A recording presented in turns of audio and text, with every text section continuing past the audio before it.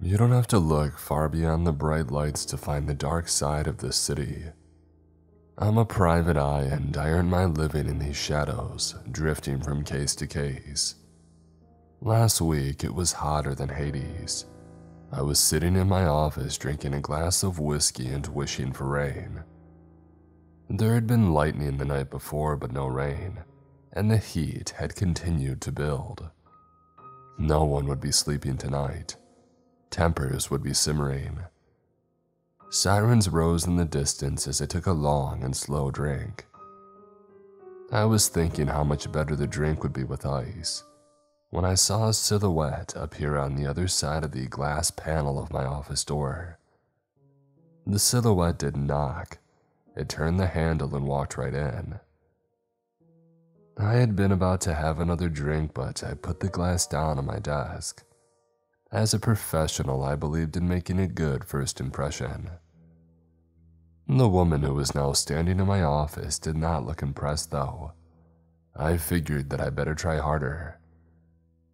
I'm Granger, I said. Tom Granger, private eye. I followed this with my best world weary smile and then asked, How can I help? She looked like she was thinking. Uh, like maybe she was regretting walking into my office and was about to leave. My charm must have worked though, because she did not walk out. Instead, she looked me in the eye and said, I want you to find my husband. I nodded sympathetically and asked her to take a seat. I took out a notebook and a pen. I had been a policeman once, a long time before, and some habits clung on. I turned to a fresh page and held the pen over it. When was the last time you saw your husband? I said. Uh, the day before last, she replied. It was in the chapel of rest in his coffin, a few hours before he was buried. I put the pen down. I had tracked down missing husbands before for clients, but they had all been very much alive. Keeping a poker face, I asked, can you tell me how he went missing? No, she managed to say before she started to cry. I gave her time. I sat and looked at her, and when that started to feel uncomfortable, I looked at the almost empty glass of whiskey and the bottle by its side. I was about to move on to the spider's web in the corner of the room when she took out a tissue and began to dab at her eyes. I'm sorry, she said. This morning I went to his graveside to refresh the flowers. I was worried the storm would have spoiled the ones that had been left out. But when I got there, there was a hole in the ground and his coffin was broken open and empty. He was gone. It was so horrible. And the people at the cemetery say that they have no idea what happened, and the police are doing nothing. I'm desperate, Mr. Granger. Desperate enough to hire even someone like you. She had been through a traumatic time, so I didn't take this personally and told her that I would take the case. An hour later, I was standing beside an empty grave. I ran my flashlight over it. Whoever had done this had trashed the place. The headstone lay on its back in the dirt and was split down the middle. The ground where the coffin had been placed looked like it had been torn open, and the lid of the coffin itself was shattered. The violence of the scene made me shiver despite the heat. I turned away. I didn't have any CSIs to call on to examine the desecrated grave, and the only technology that I had was flickering. I turned the flashlight off to save the failing batteries and I headed back out of the cemetery. I was on the edge of the business district. Office blocks loomed over it. My client had told me that her late husband had worked in one of these buildings. He had been in finance, working 18 hour days, six days a week. I wondered if he had been able to see the graves below from his office window. Wondered if he had ever stopped and thought if there was more to life than just making money. He had been 45 when he had died of a heart attack. Some people would have said that it was a crying shame. I wasn't the emotional type. I took out the flask that I had primed with the last of the whiskey from the bottle in my office and I took a drink. It was the dead of night and I had a corpse to find. I put the flask back in my jacket pocket and took out the picture of the missing husband that his widow had given me. The picture had been taken before the coronary, before the mortician had worked his magic so the body could lie in an open casket. He had looked older than his age. His hair was thinning and his face was bloated.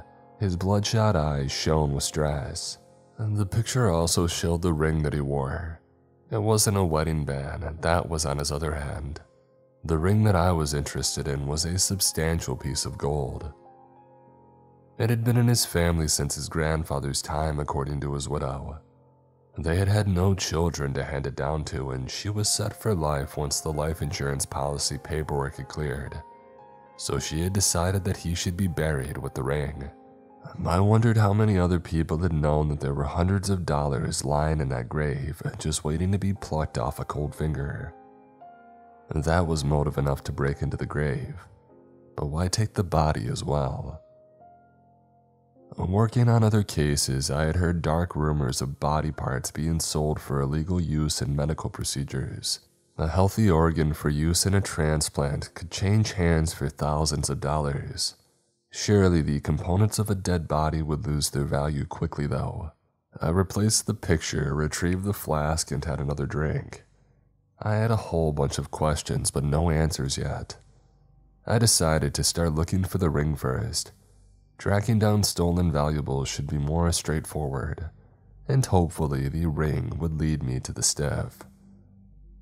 I set off walking, I headed away from the business district to an older part of the city where rundown buildings were crammed into narrow streets. The first pawn shop that I saw waited on a corner under a broken street lamp. I was working on the assumption that whoever had stolen the ring would have come to a place like this, where no questions were asked, to get some ready cash. There were bars on the windows and bars on the door. I found a bell and kept my finger on it. A shadowy figure approached. He was gaunt and unshaven. He peered through the door and snarled, What do you want? It wasn't polite, but at least he wasn't brandishing a shotgun in my face. That had happened to me before around here. I held up the picture. I'm looking for this ring, I said. It was stolen from the man who was wearing it here. The man squinted at the picture through the bars and then said, Oh, yeah, that ring was pawned here earlier tonight. It's through the back. Cost you 800 if you want to buy it. A sneer crossed my face and found its way into my voice. I don't buy stolen property, I told him. He scowled. The ring's not hot. How can it be? It was pawned by the man in the picture, and you said that he owned it. I opened my mouth, closed it because I couldn't think of a thing to say. In the case, it just got a whole lot stranger. Dead men don't walk into pawn shops and exchange their property for ready cash. Or at least they didn't in the city that I knew. The city of grime and hustling and chasing the dream. The street started to feel as if it was spinning around under my feet. I needed to get a grip to get back to basics. I went with private detective questioning one on one and asked, Well, did you see which way you went? He pointed across the street. I turned to see steps leading down to a basement door. A neon light glowed above the door and the sign which hung over it. I took a deep breath, crossed the street, and descended into the bar. The inside of the joint was dark and dank, the smell of things that had gone off a long time ago hung heavy in the air. As my eyes adjusted to the darkness, I could make out shadows hunched over drinks at tables lining one side of the space. The bar ran along the other wall. Rows of bottles on raised shelves behind it cast shapes in the gloom. There was a row of bar stools, but only one was occupied. As I approached the bar, no one was paying me a blind bit of notice. The drinker at the bar had his back to me, and the barman was pouring him a fresh beer. In the endless heat of that night, the thought of a long cold beer was mesmerizing. I reached the bar, it was chipped and stained. A fly made its way slowly along the chipped and stained surface. More hovered in the air. I asked for a beer. The barman turned to me. He wore a scruffy waistcoat over a shirt that had been white once upon a time.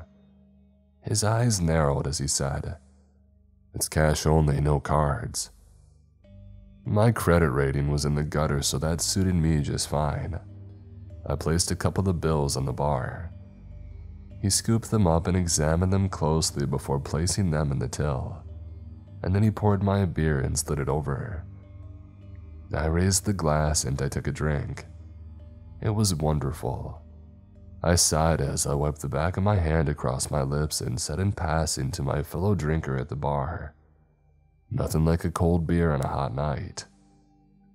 He looked up from his drink and turned to me. I recoiled in shock because he was covered in flies. They made their way through his thinning hair. They moved across his bloodshot eyes.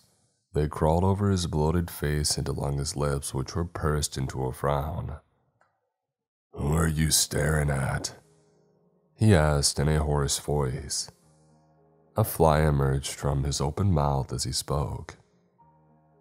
I was rarely lost for a smart answer, but all I could do was keep staring at him. But not because of the flies anymore. I was dumbfounded because I knew who he was. I lifted my glass, slowly because I was shaking so much. I downed my beer and then I managed to say, I'm a private detective. I'm working for your wife, and she hired me to find you. The man who I had recognized from his picture did not look pleased. Perhaps he did not believe in happy endings. Or perhaps being dead was clouding his outlook. And he was dead, I was sure of that. So were the flies which were swarming over him. I took a deep breath and regretted it immediately. The smell of death rising off him made me feel sick. In this heat, he was decaying quickly. As to how a dead man had found his way from the grave to a seedy bar where he was having a beer, I had no idea. So I did what people who feel lost do in bars all over the world night after night. I ordered another drink. And one for my friend, I told the barman. The dead man laughed bitterly at this. I don't have any friends. I was always too busy working, trying to live the dream and make my fortune, but it turned into a nightmare. I was stressed all the time and I couldn't sleep, and I had a pain in my chest for days on end. I thought it was indigestion. He trailed off and he looked into his beer, as if there were answers to be found there. I needed to know more, so to try and get him to talk to me again, I said, Your wife told me you had a heart attack. He kept staring into his glass as he said, That figures. I remember being in agony and then there was nothing, until I heard a thunderclap. It was muffled, but I knew what I had heard as soon as I lay there wondering where I was. It was dark and claustrophobic. I began to panic and I lashed out. I broke through the wood which was over me and then scrambled through the dirt above that. I had no idea that I had been in a coffin six feet underground until I emerged into the open. I was confused and angry and thought that I had been buried alive. Is that why you broke your headstone? I asked. He shook his head. No, that was already split in two. I think it must have been struck by lightning. When he said this, a piece fell into place. I had seen enough old horror movies to know that electrical storms could bring the dead back to life. I had also thought that the living dead were confined to the screen, but the evidence to find that was sipping a beer right next to me. So, what did you do next? I asked. I went for a drink, he replied. Or at least I tried to. I didn't have my wallet with me, and without cards, I couldn't get served so I pawned my ring off and came here. I was going to just have one drink and then go and find my wife and ask her why she had buried me when I wasn't dead. I couldn't look at him for a moment. The flies knew I knew, but he didn't know. I wasn't shy of having awkward conversations, but this was a deuce. I tried to soften the blow and said, Your wife cares about you deeply. All she wants is for you to rest in peace as it should be. He had the glass halfway to his mouth. You mean, he began. I nodded. He was filling in the gaps himself and didn't need me to say anything else. A fly crawled along his hand and onto the brim of his glass. He stared at it and a tear ran down his face. What should I do? he asked. Go back to your grave, I answered. I will help. Yeah, you're right, he said morosely. But before I do, there's one thing that I want. I had the awful feeling that he was going to tell me he wanted to see his wife one last time. I imagined her repulsed reaction. But it turned out that I was worrying about nothing. He rubbed his stomach and said, I'm famished. I would like to get something to eat. I've got a hankering for brains. I knew a 24 hour burger place nearby where everything they served was dripping with grease, and it was best to not think about what was in the patties. But I doubted even they served brains as a part of the mix. Eh, food needs to wait, I told him. It'll be light soon. Let's get you back to the graveyard. We finished our drinks and left the bar, and then I walked with a zombie through the last of the night. The heat was intense, the world around us felt as if it was at a breaking point. As we neared the cemetery, a rumble sounded in the distance. The storm was close. I was no longer hoping for rain to take the sting out of the heat. Rain would turn the open grave into a quagmire, and I couldn't see the zombie descending willingly into that. Better that the ground was dry. We reached the graveyard side by side. As we did, a lightning bolt flashed through the sky. The grave that the zombie had climbed out of was revealed in its flare. There was still no sign of rain as the storm began to rage, but there was another bolt of lightning. It struck the next grave along. I was left reeling. The zombie was still. Its attention seemed focused on the grave that had been struck. I saw that the headstone had been split in two, and I thought, no. My heart began to race. The sweat coating my skin turned ice cold, and I swore that I could hear movement underground. Something scrabbling, digging. I took out my flashlight and turned the beam towards the earth. The surface of the grave moved. A sliver of pale white appeared. My guts tightened as I realized that I was looking at bone. It was visible through the flesh of a hand which had decayed and shriveled away in swaths. The hand was reaching up, clawing at the air, and now a second hand was coming into view. And ahead, a pair of rotting eyes peered out, followed by the stump of a nose and a mouth. The lips had been stripped away and the zombie's teeth were exposed to the night teeth that smiled. Now I swear on all that is good that the living dead creature grinned before pushing itself free of the ground to stand on its feet. It had been buried in a suit and the remnants of skin and muscle. Bugs that had been rudely disturbed while they were feeding scurried over the reanimated corpse. I wanted to run, I wanted to scream, but I was gripped by fear, and all I could do was stand there and stare as the zombie began to stagger towards us. Its mouth was moving. It was trying to speak, but its vocal cords must have been eaten away because its entreaties were lost in the stagnant air. The storm had passed without a drop of rain, but the lightning had been devastating. It had brought another dead man from his grave. The dead man who I had been hired to find turned to me and said, Are you armed? I was licensed to carry and I nodded. And then you need to put a bullet in that thing's brain. It's the only way to stop it. Bile rising into my throat and my hand shaking, I fired. One dead man staggered backwards and fell to the ground, his skull shattered, his brain decimated. Another dead man looked at me. I saw a glint of the living man that he had once been. And now me, he said. I was horrified. I can't, I said. You're not like that thing. You have a widow who loves you. You can still think, still feel. He shook his head and said in a quiet and steady voice, As time passes and my flesh and my reason are corrupted, I too will be driven to attack and feed on the living. I can sense it now, I can feel it starting to happen already. But it can't come to that. I can't allow it. You can't allow it. Please. I knew that he was right. Knew that there was no other way. I'm sorry, I said, and I did what he asked. And then I reburied him and his kin. Dawn broke over the city as I walked away. An almost full moon lingered in the sky, and the dead were in their graves. The case was almost closed. The only loose end was the grieving widow. I couldn't tell her the truth. It was too painful, too raw. She had left her address with me when she had hired me. She lived in a nice district.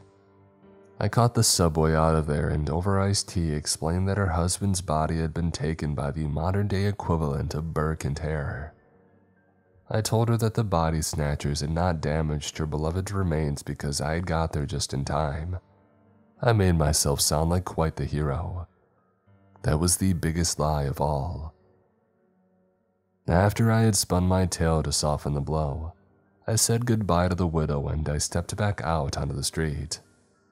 The heat from the sidewalk stung the sole of my feet where my shoe leather was worn thin.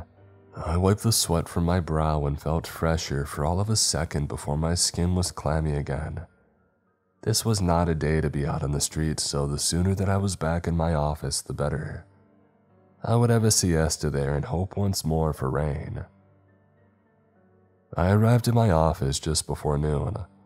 I had picked up a tuna melt from the deli on the corner. It sagged in my hand when I took it out of the wrapper, and I ended up dropping it in the trash. Not eating was bad for my health, but I couldn't afford to live a long life anyway. Pension plans are for people who work a 9 to 5, not deadbeat private eyes who feel their eyelids growing heavy in the middle of the day and can't think of a single good reason why they should stay awake. I was drifting off when I heard somebody knock on my office door. I told them to come in. It was a young man who was dressed like he was already middle aged.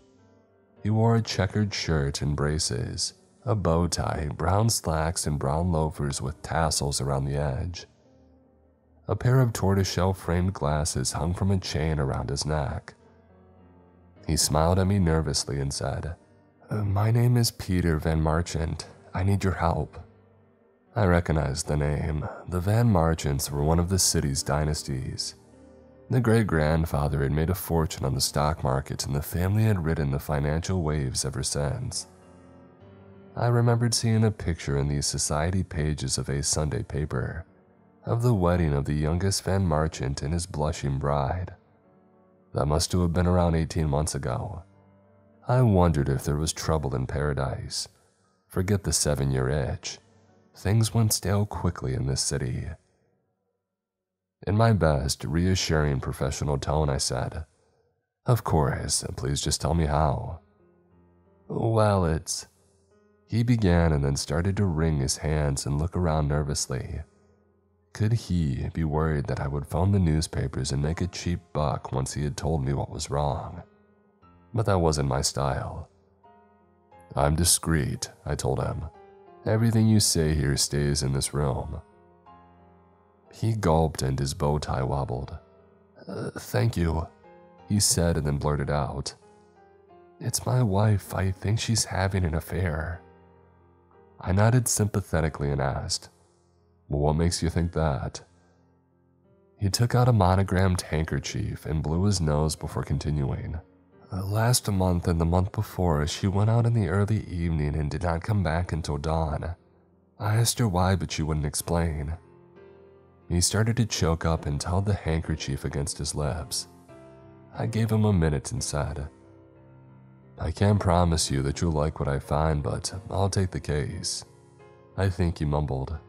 Uh, thank you, through his handkerchief. Cases involving cheating spouses were the pits. My wife had left me a long time ago, long enough that it should have been ancient history, but some wounds just don't heal. Van Marchant had driven into the city. I managed to get my battered car started and followed him to his family home, where I parked across the street and waited. He lived in a mansion with high walls and bristling with security cameras. At one point, a private security car pulled up alongside me, and the wannabe cops inside started to grill me about what I was doing there. I showed them my license and explained that I was working for Mr. Van Marchant. They scowled and drove off, clearly disappointed that they hadn't been able to show me how tough they were. Time passed real slow after this. The aircon in my car growled and moved the heat around. I felt my clothes sticking to the cheap fabric of the driver's seat with sweat. I wouldn't take a drink while I was behind the wheel, but I could dream. I was thinking about a bourbon in a tall glass crammed with ice when my mobile pinged. It was Van Marchant letting me know that his wife was going out. She appeared moments later, sweeping along the drive through the open security gates. I followed her as the road wound down towards the city. The high end real estate fell away, and the apartment blocks rose all around us as these streets grew narrower. And then the graffiti began to appear on the facades of buildings, and there were empty lots, cars parked up on corners blasting music and long stretches of sidewalk where the few passerbys kept their eyes dead ahead. We were in a part of the city where the wealthy did not go. Ahead of me, Mrs. Van Marchant slowed and then pulled up in front of a rundown building. She got out and went inside. I parked further along so I was out of sight and then I climbed out of my car. I felt my nerves tingling as I walked back along the street. I was a tough guy, but I wasn't immune to a mugger's blade. I reached the building that she had gone in and realized that I knew where I was. The building used to be a police station back when I was on the force. It had been a tough posting then. Now the station was closed down. Why a rich young woman would be here was a complete mystery to me. I crossed over the street and sneaked a look through a window. A half dozen people were sitting in a circle in an otherwise bare room. It looked to me like a self help group, the seed of an idea which grew when one of the people, a man on the far side of 50, got to his feet and started to speak. I couldn't hear what he was saying, but from his expression, he was growing emotional. After he had finished and taken a seat, the others nodded and smiled gently at him and then Mrs. Van Marchant took the floor. In the society pages of the Sunday newspaper, she had been wearing a $20,000 dress. Now she wore a plain t shirt and jeans. Her hair was in a ponytail. She looked strained as well, like a young woman who was carrying a burden. She finished speaking, and there were more displays of support from the group. Then a man wearing a crumpled shirt addressed the group. He kept his backside on his seat while he spoke, so I figured he was leading the session. He seemed to wrap things up, and everybody got to their feet and started to file out of the room. I moved away from my vantage point and went back across the street. I wanted to see where she went next. It made sense that she would want to be well off the beaten track to attend a self help group but I still did not know where she went until dawn. Maybe she was having an affair with one of the others in the group. I was determined to find out the truth for my client. I waited for her to emerge, but there was no sign of her or of anyone else. Thirty minutes ticked into an hour. Red began to streak through the sky. It would be dark soon, and I did not want to be standing out there all night. I moved around to the entrance of the building and tried the door. It gave, and as quietly as I could, I made my way inside. A corridor stretched out in front of me. There was no one in sight, but I could hear a television close by. I took a dozen steps and then paused. There was a half open door to my left.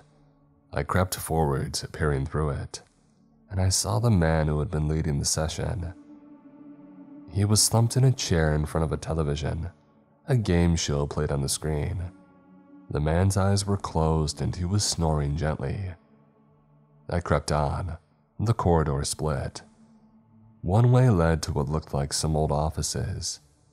The police work which had taken place here would have generated a lot of paperwork, and there were always phone calls to be made. The officers who had been based here would have been crammed into those offices. There was no sight of anyone from the self help group there now, though. I returned to the junction and headed the other way to find a row of old holding cells. These were where the perps would be put while they were booked. The front of each cell was still lined with bars and an old fashioned lock secure entry. I had seen plenty of setups like this years ago, but right there, right then, I was staring in shock at what I was seeing. Every cell was closed and occupied by a member of the self help group. Small windows in the external walls cast what was left of the daylight into the cells as I stared at the people imprisoned within. They all sat with their knees hunched up and their eyes looking down. None of them had noticed me yet, which gave me breathing space to try and work out what was going on. Why were they being imprisoned? Was it to do with the problems that had brought them here? Questions raced through my mind and no answers came. I crept past the cells until I reached the last one, where Mrs. Van Marchant sat. She must have heard my footsteps because she looked suddenly up. Her face was streaked with tears. She gasped when she saw me and shot to her feet. Oh, what are you doing here? she asked. I told her. I'm a private eye. Your husband hired me because he was worried about you. But we can talk about that later. First, I'm going to free you. Her eyes were wide with fear. I thought it was because she was incarcerated. I thought that I was doing the right thing. I carried a set of skeleton keys, every self respecting private eye did, and was about to get to work on the lock to the cell door when Mrs. Van Marchant said, No. I looked up at her. I'm not being held prisoner, she went on. I'm here by choice. We all are. I don't understand, I said. As I spoke, the now full moon drifted into view through the window. I only noticed it through the corner of my eye and would have thought no more of it, but she span around and stared out at the radiant disk. And then a spasm passed through her entire body and she fell to her knees. She started to shake as if she was having a fit, and then she threw her head back and howled. It was a harsh, primal scream. As she cried out, the fabric of the back of her t shirt began to split, accompanied by hideous cracking sounds. I had heard bones breaking before, and that was what that sickening noise made me think of. Through the tear in her clothes, I could see her back expanding and thick dark hairs emerging from her flesh. She howled once more and rose slowly to her feet. She stood now on long, fur covered limbs, the joints of which extended backwards. She turned slowly and looked at me, and she was no longer human. Dark eyes blazed in the face of a wolf. A snarl escaped from her lips. I swore under my breath and staggered backwards. I felt like I had just walked into a nightmare, where the natural had been twisted into the grotesque. A snarl drifted from another cell. I turned and looked, dreading what I might see. Another lupine face stared out at me, where there had been a man moments before, there was now a beast. I stumbled on past the cells, all of which now held one of the creatures. They were in a frenzy and were howling and throwing themselves at the bars. If they escaped, I would be ripped to shreds. I ran from the corridor in terror and almost collided with the man who had been leading the group. He stood outside of his room, the television still playing inside. Who are you? he demanded. A private eye on a case. I snapped back and threw a question of my own his way. What the heck is going on here? He replied. Werewolves Anonymous. I looked at him dumbfounded, shocked into silence by the strangeness of what I had just learned. He said that he needed to check on the group and left me standing there when he headed into the direction of the cells. I could still hear the creatures howling, and each cry made me shudder. After what felt like a very long time, he returned. They're even more worked up than usual at this stage of the lunar cycle, but you don't seem to have done any harm. My pleasure, I muttered bitterly. Now, are you going to explain what you mean by Werewolves Anonymous? I will, he replied patiently, but on the condition of complete confidentiality. I won't breathe a word, I told him. He nodded and said, The people who come here have been infected by the bite of a werewolf. At the full moon, they transform into the beings that you saw. In this state, they have no control over themselves and are capable of terrible acts of violence. So they come here voluntarily, and after our meeting, the group members enter a cell and I lock them in. At dawn, once the influence of the moon has waned, I let them out and they go back to their everyday lives. Another mystery was explained, another case almost closed. With his permission, I waited until dawn and met up with Mrs. Van Marchant. She looked tired and was wearing a change of clothes. She asked me to walk with her to her car after I had explained who I was and why I was there. And do you understand why I haven't told my husband? She asked as she unlocked the car door. I told her that I did and then added, um, But I think it's time for the truth. He clearly loves you, and the thought you're having an affair is tearing him apart. She stood with her car keys in her hand, looking into the distance. Considering my words, finally she said, I will, but it would help if you were there with me. You can tell him what you saw if need be, so he knows that I'm being straight with him. I agreed and went back to my car for the drive to the mansion. When we arrived, the gates to the driveway swung open. As I followed her through, I half expected the gates to slam shut on me. I was the definition of undesirable to the privileged elite, and they only turned to me when their lives were tainted by the dark side of the city, by crime, betrayal, or in this case, by lycanthropy. My beaten up car made it to the end of the driveway without anybody pressing a panic button, and I parked up behind Mrs. Van Marchant and then followed her inside. The mansion's interior was grand but faded. Oil paintings hung from the walls underneath a vast chandelier, but I could see layers of dust on their surfaces.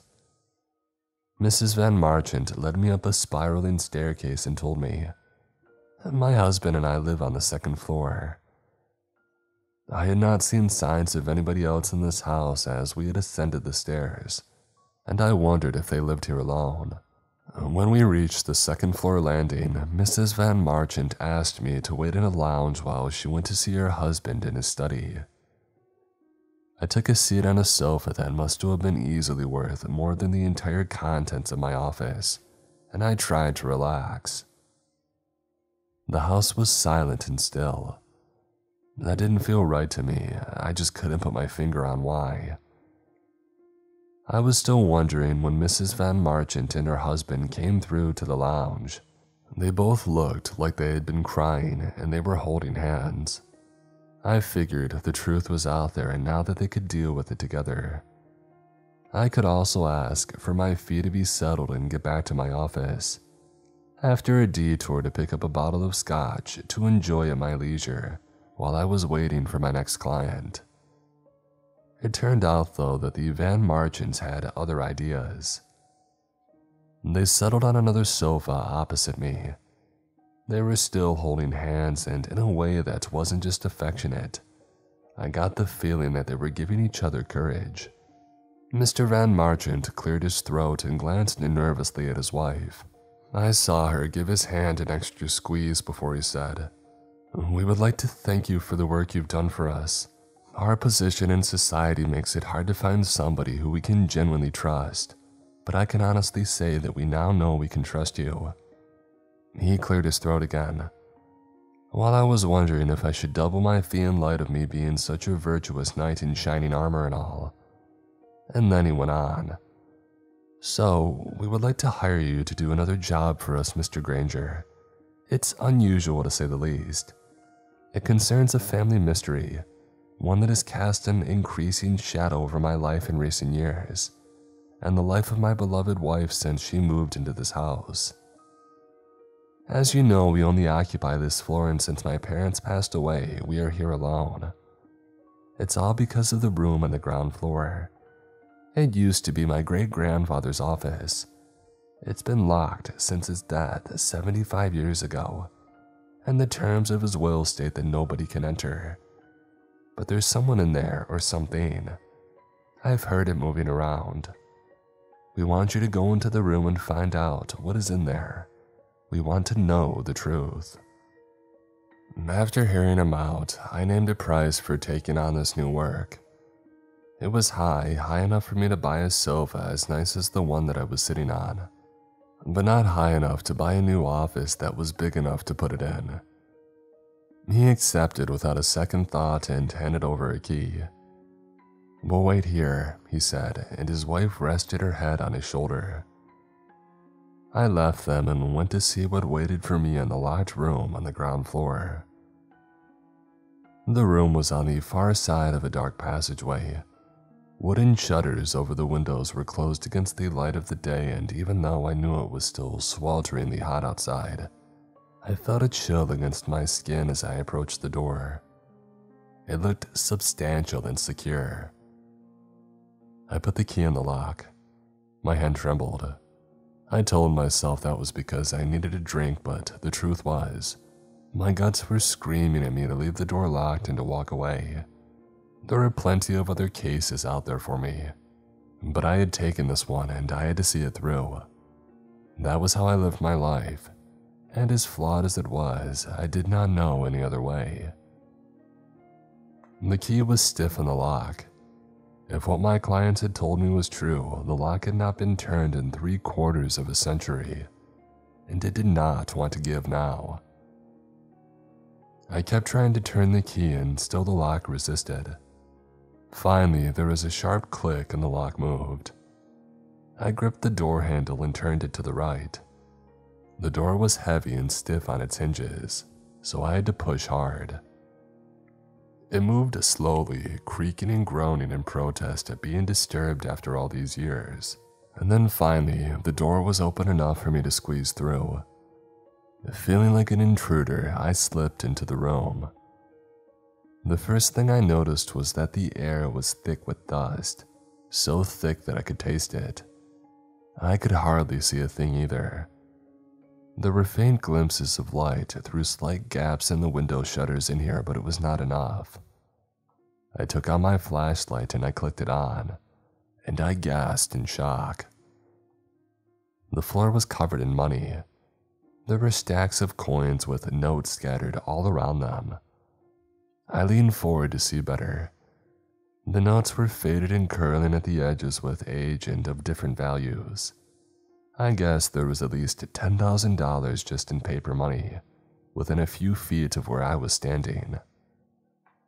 I played the beam of the flashlight along the floor in a straight line, and then in an arc and saw that the covering of money was unbroken. Was this why the great grandfather had wanted the room locked? To keep this hoard away from prying eyes.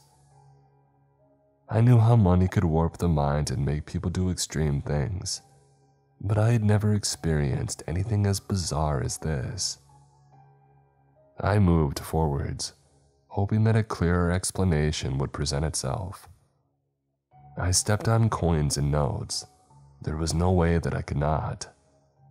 I noticed bugs as well, scurrying along the floor as my progress disturbed the money if they had been skulking under. I had taken a dozen hesitant steps when something new caught my eye. I paused and knelt down and swore under my breath. Nestled among the currency was a diamond. It was cut expertly, and even under a layer of dust, I could make out the clarity of the stone. I picked it up and turned it around in my fingers. As I was returning it to its resting place, I glimpsed more diamonds among the cash, and gold bars and necklaces studded with jewels. By now, I knew the value of the contents of this room must go beyond the thousands. There must have been millions here. I thought of Mr. and Mrs. Van Marchant upstairs. For all their problems, they were blissfully ignorant of the fortune here.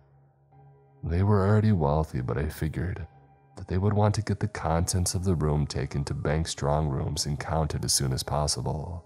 As for me, I admit that I was tempted to pocket some cash and a couple of diamonds, but my conscience won out. Taking anything would have made me a thief, and that was a line that I was not going to cross. I turned and was about to retrace my steps so that I could get out of there and go share the news with my clients when I heard a noise in the darkness. It was to my left, whatever it was. Maybe it was a rat, or maybe something bigger. I heard it again. It was a shuffling, scraping sound as if something was dragging itself across the floor and disturbing the fortune littered there. I swung the flashlight towards the source of the noise. The breath was knocked from my body at the horror which stood before me. It could have been human once, a man just like me. But now it was hideously emaciated.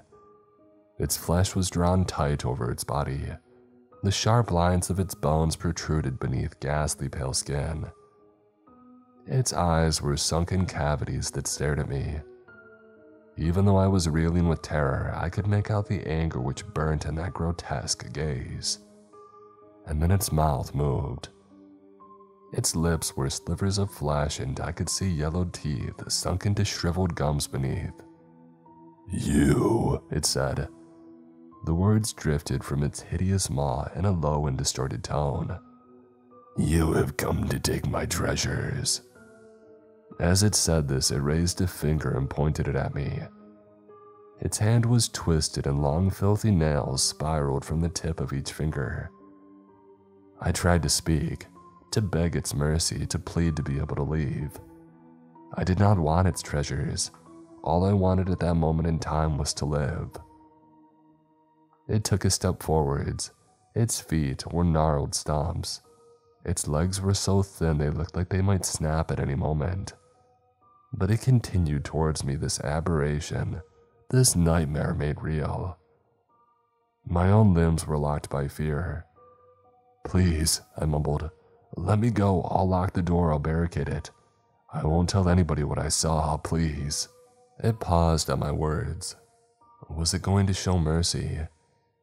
This thought alone was enough to allow me to take a step backwards.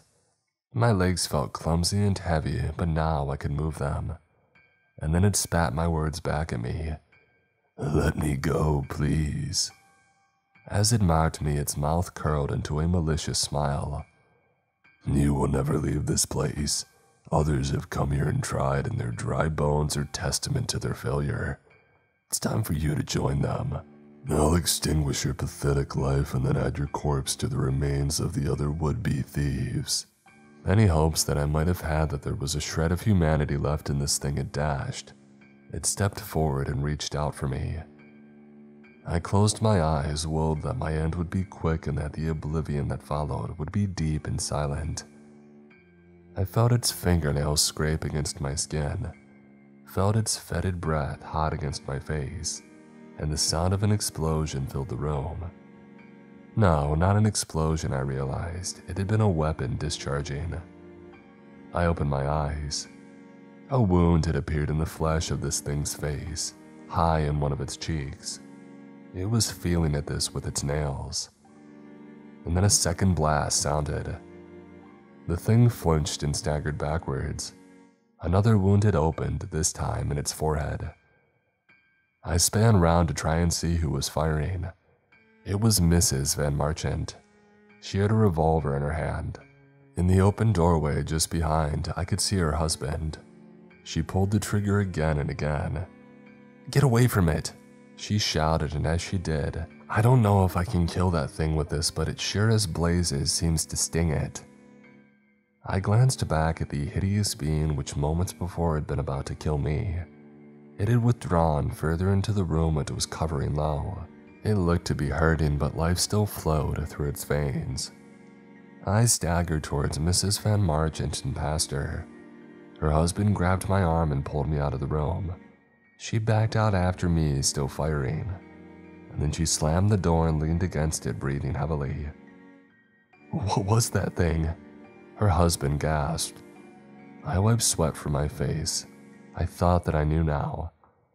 I had heard legends of people who had been so consumed by greed that they had lost their humanity and been turned into monsters. But those legends had been set in wildernesses a long way from here. Still, this city had darkness enough to hide all shades of evil. I replied, I think your great grandfather did not die. He became that thing, and unless you want another family reunion, I recommend that you brick up this doorway. He looked at his wife, clearly to see what she thought. Mrs. Van Marchant nodded and said to him, We'll do more than reinforce the doorway. We'll encase the whole room in concrete and then we'll lock the house up and go away. I think this is a good time to go on that world cruise that we've talked about. What do you say? He smiled and then hesitated. But what about your, he said. The howling, she finished for him. Don't worry about that, we can take a cage with us. And then they embraced. I left them to it. My work here was done. The sun was still high in the sky as I walked towards my car. I was going to park near my office and find a quiet bar. It was time for a drink.